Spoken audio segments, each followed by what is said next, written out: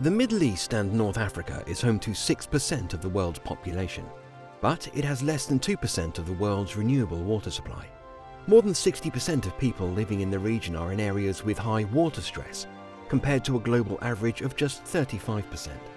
In Egypt, the growing population surpassed 100 million in early 2020, but there was little celebration. The pressure on infrastructure is mounting. After agriculture, industry is the second largest user.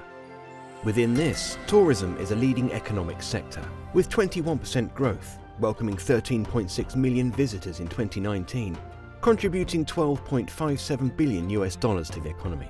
As the government targets tourism as a growth sector, demand for water is accelerating.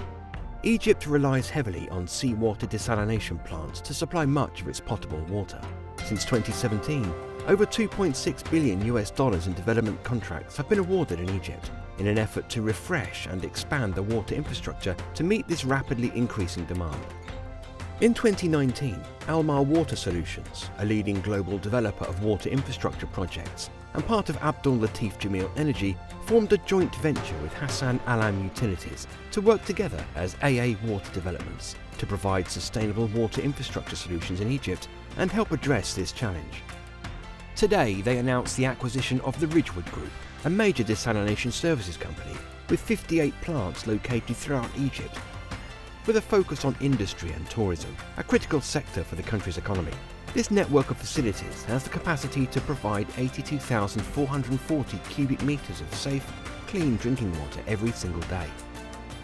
This acquisition continues the strategy to expand rapidly beyond new greenfield projects.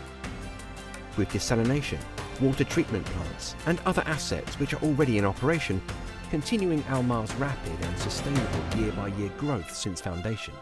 With the combined expertise of the Almar team and the regional knowledge of Hassan Allam Utilities, our vision is to drive the growth and development of water security across the region and worldwide, and ultimately provide sustainable solutions and greater access to safe, clean water for all.